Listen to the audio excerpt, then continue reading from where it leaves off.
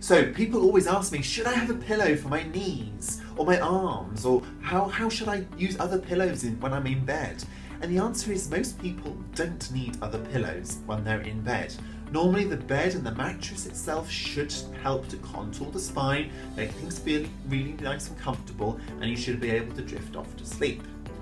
But if you've got something in your body that is more uh, chronic, if you've got something that's more long term or something that's more pathological, perhaps some of your bones are fused, for example, then you might need extra support to make it feel comfortable.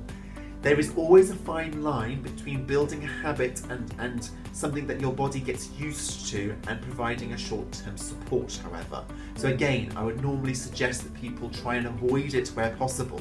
But good things to try are things like a pillow behind the knees to reduce some of the curve in that lower back. And you can actually use supports, um, so pillows underneath your arm, for example, if you need some support because it's painful if things drop. Give it a try.